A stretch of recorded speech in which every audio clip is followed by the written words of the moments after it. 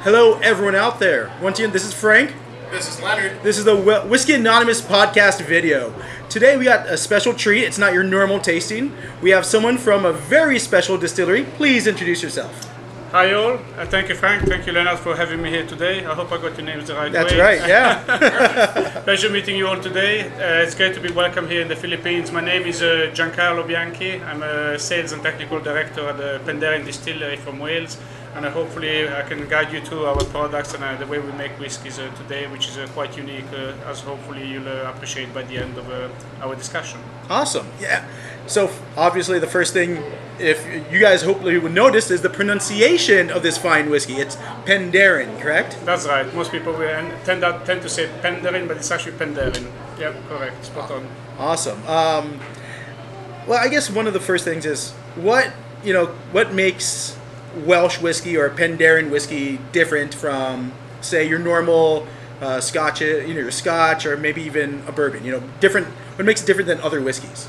Yeah, okay. I mean, uh, usually, usually people think Welsh, that's a key point of difference. That's really just a geographical difference. The key difference uh, for us, obviously, we're not a, a bourbon, which means that we don't use a, a mixed mash bill where you might have different cereals in the production. As a single malt whiskey, we have a 100% malt, uh, malted barley as part of our production. And we have a batch distillation in copper pot stills, and that's really what defines a single malt, not just in Wales, obviously, but uh, in Scotland and anywhere else in the world where these days you produce, produce single malt Uh, there are a few other things that make Penderyn absolutely unique. Um, one is the distillation technology. Right. Traditional, any traditionally anywhere you go, mostly Scotland, I guess, but about, probably about 60 nations around the world produce single malts now. They all tend to use a double distillation Yeah. for, for the production, or most of them. And uh, when we set out to produce our whiskies, we decided we don't want to make a, a Scotch in Wales. We want to make something truly uniquely Welsh. Okay. Also in the production methods and uh, also in our house style of the whiskey, which we'll try later on. Um, and we use a single pot distillation. And we combine that with the fractionation technology. That allows us to produce a new make spirit, which comes out of the still at about 20% ABV higher than what you usually get in a traditional single malt distillery. Oh wow. Yeah, so that's a big difference, and it, it's got a key impact on the mouthfeel, the flavor profile of the whiskey.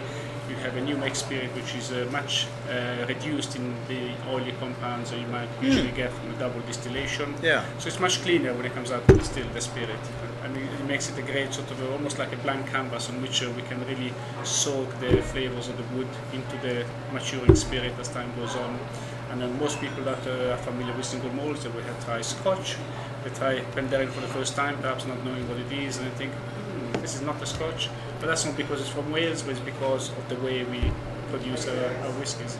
Nice. Leonard, uh, you had a question. Yeah, no, I was just wondering. So, obviously, you are Welsh whiskey. There isn't really anyone else in the game, I think, from Wales. Um, so, did the histor- I mean, historically, did Welsh whiskey have any influence on how you made? Because I think they were, making whiskey in Wales like 100 years ago. That, that, that's right. That's right. There was a distillery at, on the other. We're in South Wales. Uh, the the um, previous distillery uh, was in North Wales.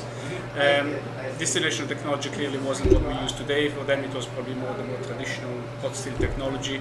Uh, that's been essentially was wound up in 1893, so it's been closed for a very long time. Um, uh, uh, 1903, sorry, 1903. So uh, the only thing that uh, it doesn't really have too much in common. Actually, we know that the whiskey was uh, slightly peated, or peated, which is something we have within our po- uh, portfolio. Um, other than that, it was a, a geographical commonality. So it was, when we launched our Madeira Finish, our house style, that was in uh, 2004. It's been over 100 years since um, whiskey had been produced in Wales. So for us, it was a great opportunity to restart the tradition Right. all these years on. And I just have one other little point. There are a few other distilleries in Wales, but very small setup. So really, at the moment, we are still the only single malt uh, available out there. But there are a few other distilleries opening up a shop, uh, but uh, very, very, very small scale at the moment. Right. Yeah. Nice. Excellent. Wow. Um, now, real quick, you know, um, are you? Because I don't actually know the ge- uh, where exactly it's located. I know Penderyn as a town is like is a coastal town, correct? Uh, actually, it's, uh, it's uh, about uh, 45 minutes away from the coast. Okay, So it's, uh, it's up in the hills. Penderyn is, is in a national park, uh, Mm, okay. of outstanding natural beauty. Um, so we're not far from the sea, but uh, slightly in the hills. Yeah. So Okay. uh, So, i- So in terms of so in terms of geography, we're about um, the quickest way to get to Wales, I guess, from London. You catch a train from London Paddington. Two hours, you, you get into Cardiff, which is the capital of Wales in the Right. south, and then uh, hopefully we'll pick you up and you're up at the distillery within uh, another hour. oh, okay. All right, so it'd be interesting uh, to taste because you know, to something different, something you know. Obviously, I was, I saw a movie and I forget the name of the movie, but the, like the there's a college in Penderyn and they're on the coast, uh, closer to the coast. I'm like, okay, that's what that was my Alright, idea. Okay.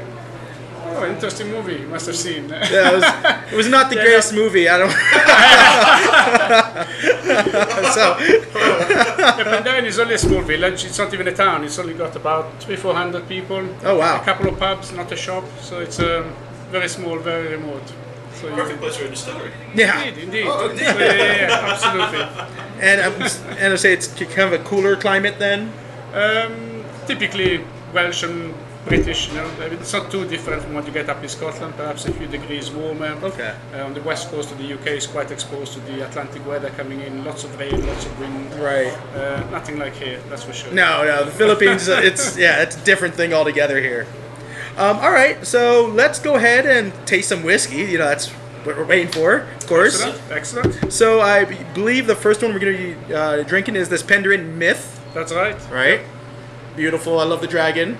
So is that uh, the, as we'll soon see? Um, that uh, looks different from uh, the typical Penderyn model. Uh, yes, I guess uh, it does. So this is part of a range of whiskies. There are three within this range, um, all the similar kind of format, say kind of label. Um, they're all bottled at 41% ABV, and they're all based on a, a first. The first part of maturation is the same for all of them. They all start their life in ex-Buffalo Trace casks, which we buy directly from the distillery in Kentucky. We put our new spirits in the casks, which is reduced from 90% ABV down to 63.4% ABV, and uh, obviously stays there as it matures. When the whiskey is practically matured or ready to be bottled, our distiller blender, Einstein, will um, select some of the casks and transfers the whiskey into uh, finishing casks. Uh, in the case of Myth, the finishing cask is a cask that used to contain red wine. But before the cask is used, it's taken apart by a cooperage we work with in Portugal. Okay. They take, uh, they take each individual staves, they take a layer of wood off, they toast the wood, heat it up to bring some flavors from the inside of the wood to the surface, and then they burn those flavors. So you, you got a very active new surface of wood.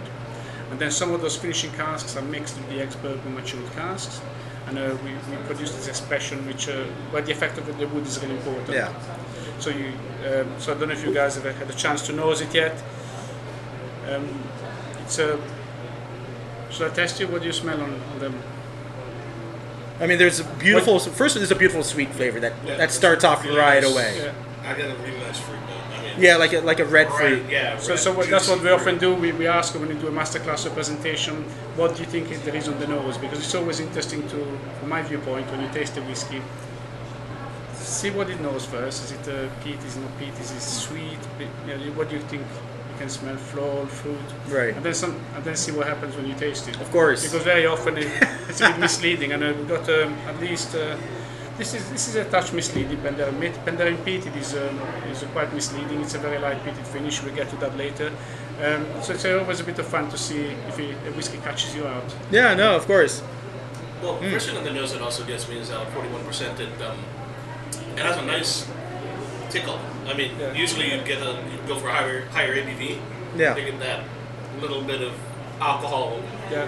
sharpness and acidity, but that, that, that's nicely represented here. So one thing we often do as well. Um, you were telling me to me earlier on that you attended some uh, presentation by Jim Murray. No, of course. That's Yeah, something- our good friend. Yeah. He- He likes it as well. If you if you want to explore the aromas a little bit more, you hold your ga- glass in your hand like that, cover it, but that that uh, essentially yeah. warms up the whiskey. Then you can if you, if you smell a sort of a smell neutral, I guess. Put them on top of the glass, leave it there for 30 seconds to a minute, and uh, then uh, what that does obviously concentrates the aromas, and then uh, it gives you another opportunity to explore the whiskey Oh yes. And um, in, in Wales, when people come to visit us at the distillery, Mm-hmm. we do the same thing in our visitor center. And, uh, we, we said to people that bring your whiskey close to you. You must love your whiskey Yeah, and, give, and uh, give it a cuddle. And in, in, in Welsh, giving it a cuddle is cwtch. So you give your whiskey a cwtch. A cwtch. A cuddle, a cwtch. Yeah, that's so it's your first Welsh word you're going to learn today. Yes, cwtch. But Yeah. obviously you all want to love our whiskey. Of course. So I get a little bit of um, spices perhaps as well on the nose. Um, Yeah, but light, light baking spices. Yeah. Yeah. okay, shall we, shall we go ahead and try it? Or? Yeah. Yeah, Let's do it. solid, um, It makes my mouth water.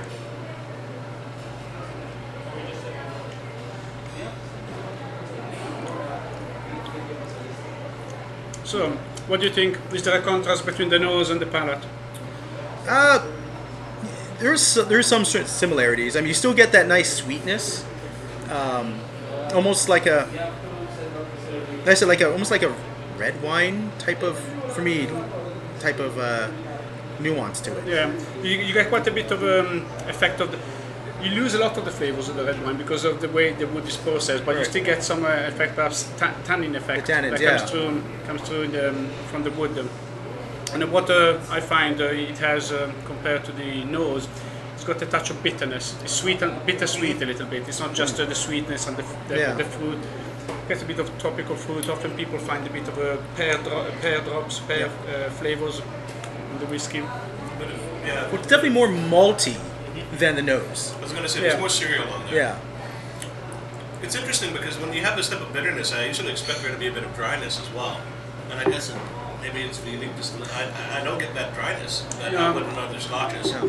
There isn't much dryness, partly uh, because uh, if the, this the wood had not been treated, the finishing cask had not been treated the way it, did, it was, Yeah. you would get a bit more dryness because uh, um, casks that had held red wine would, would give you much more dryness because you've got all these fresh tannins. Mm. Here they're very much subdued because of um, the way the cask is processed. Right. So it's a quite a smooth and easy drinking sort of um, uh, whiskey, very accessible as well. That's my opinion. Anyway. No, know no, what it's, you guys uh, think. No, But, for um, sure. If you tried many Scotch whiskies before, single malts or single Yeah. malts or anywhere else, what you might find uh, the mouthfeel is slightly less uh, oily perhaps as well. Although there, Yeah. there is a little bit of oiliness there, but it's not certainly as rich as you might expect from a single malt whiskey. No, for sure. It was great. I'm gonna drink a little bit of water here so we can move on to the next. Oh, we don't have water. We gotta get water for you for the next Uh, video. no, no worries.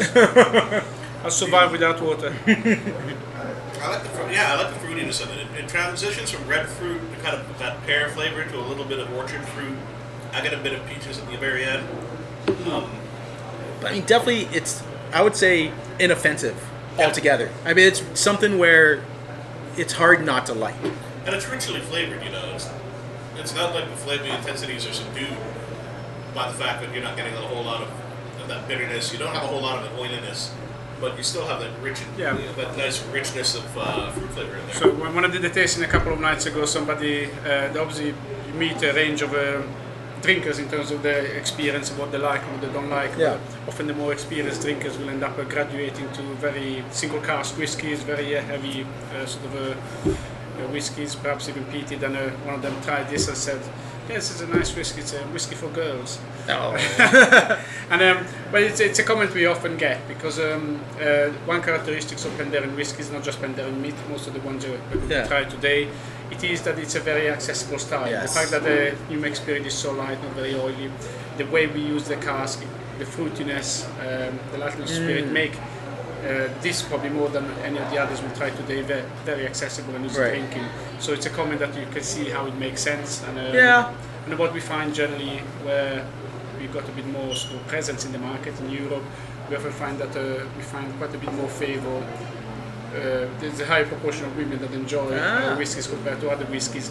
Certainly at this sort of um, um, level of the of the range, where it's only 41%. Right. Um, the, one of the key distinctions between this range and the, the other whiskies we try later on is that uh, we do try to be a bit more accessible. Yes. way we put them together as well. But it's also general characteristic of the whiskies. They're quite uh, accessible, and uh, what we also try, always try to find with our whiskies is uh, the balance. As, as you noticed, I mentioned the finish, but I also mentioned that uh, not all the casks that are used for the bottling are finished.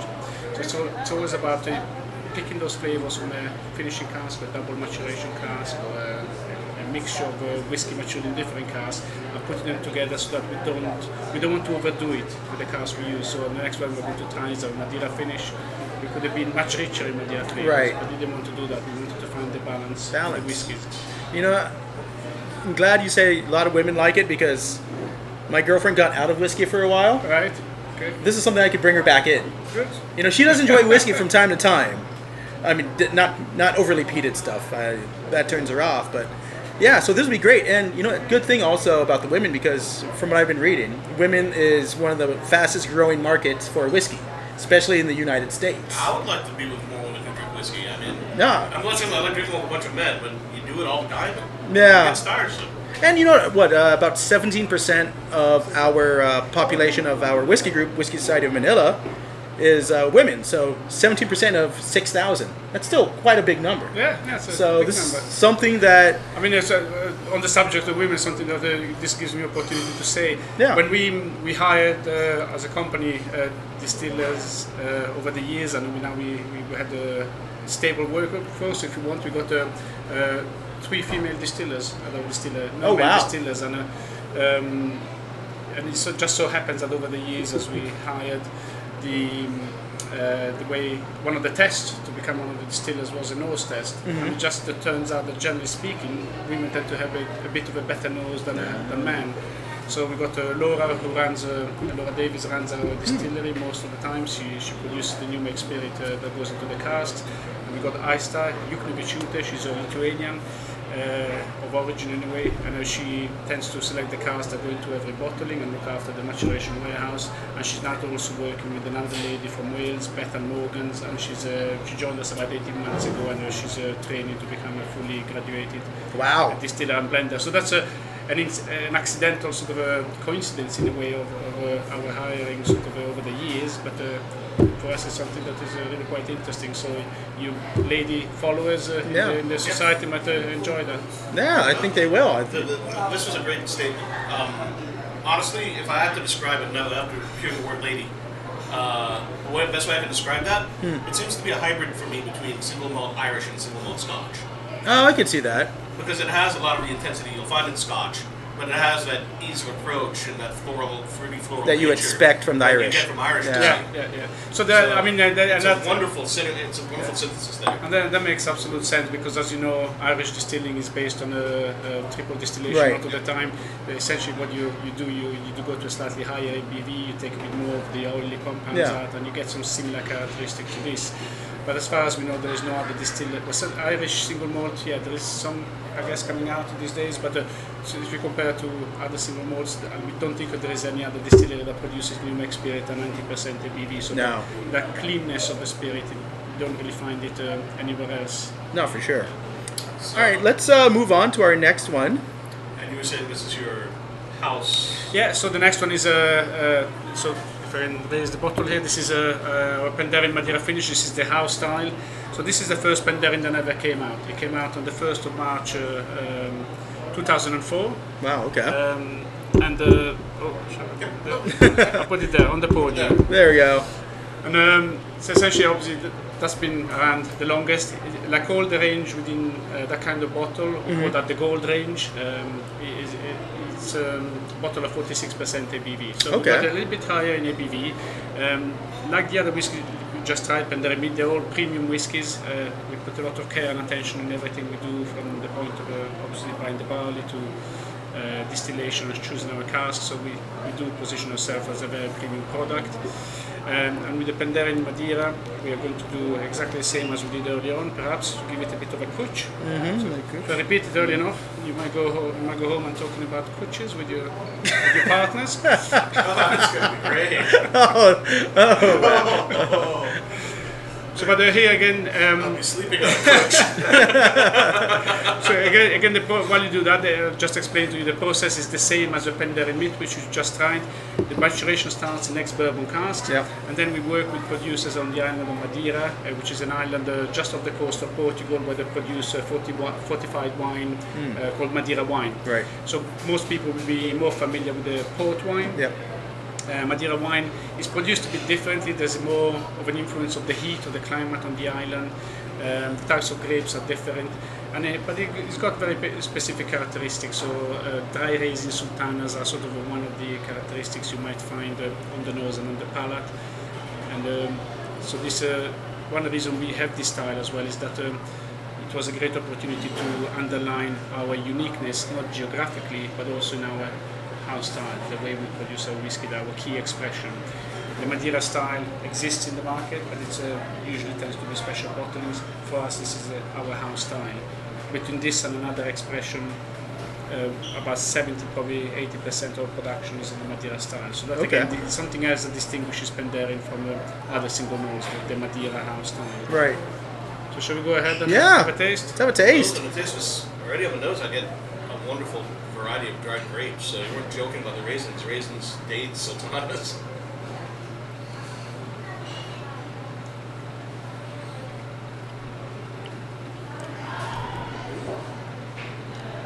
Yeah, definitely a bit more of the spiciness because of the higher ABV, but it's nice. Um, I love the oiliness of it, the mouthfeel. It's a beautiful oily mouthfeel. It's not too watery like you get with some whiskeys.